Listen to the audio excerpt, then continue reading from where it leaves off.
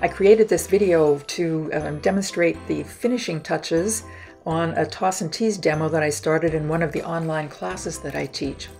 So the foliage in the pot and also in the tree were uh, completed using the toss and tease demo.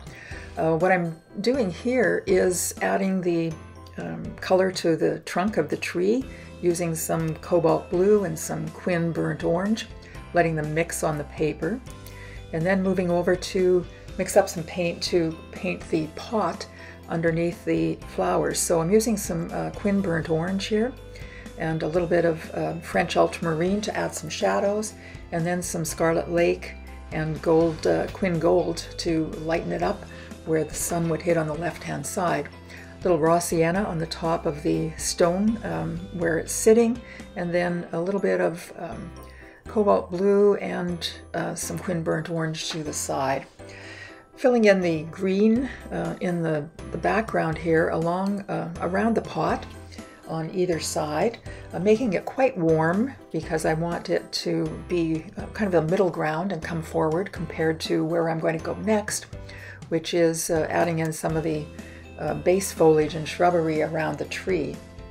So here I'm going a little bit darker, starting with a, a blue, cobalt blue and some sap green, and then mixing in some sap green and some serpentine green. I'm using the dagger brush here, which has the pointed end, which gives a, a little bit more of a, um, a pointy, uneven kind of uh, finish, especially to the outside edge. It's really good for foliage. And spattering in some color uh, as well. Just touching up a little bit around the edges and then anchoring that tree with a little bit of quin burnt orange at the base. working some shrubbery in there so that it kind of complements the um, the pot to the right.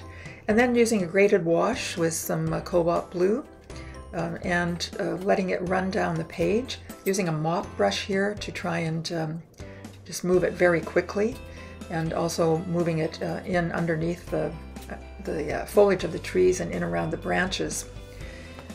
And uh, around the edges of the plants and in through the, the holes in the trees and the foliage to just give a more natural kind of look.